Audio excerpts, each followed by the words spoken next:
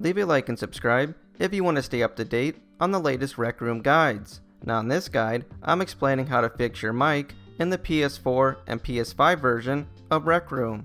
If your mic is not working, there are several things you can do to fix it. The first thing you can do is check to see if you are a junior account. Junior accounts can't talk or hear other people. You become a junior account if your account age is 12 years old or younger. You can check if you're a junior account by opening your watch menu. If you see a junior icon on the bottom left, you are a junior account. I have a video pinned in the comment section that explains how to fix your junior status if you need that. If you are not a junior account, then make sure your mic is not muted on the top right of your screen. If the mic icon has a slash through it, you are muted. You can mute and unmute your mic by pressing down on the D-pad. When you are unmuted and you talk, you should see waves on the mic icon and on your character.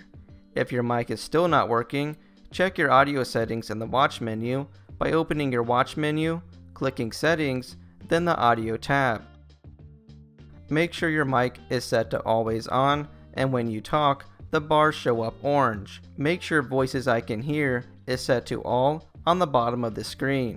If your mic is still not working after all of that, then it's most likely a PlayStation related issue. To make sure that your mic is working on the PlayStation, disconnect and reconnect your mic and look for a message saying the microphone switched to the headset connected to the controller or anything else confirming that it detects your mic. From there, make sure it's using your mic correctly by opening your PlayStation settings, go to devices, then audio devices.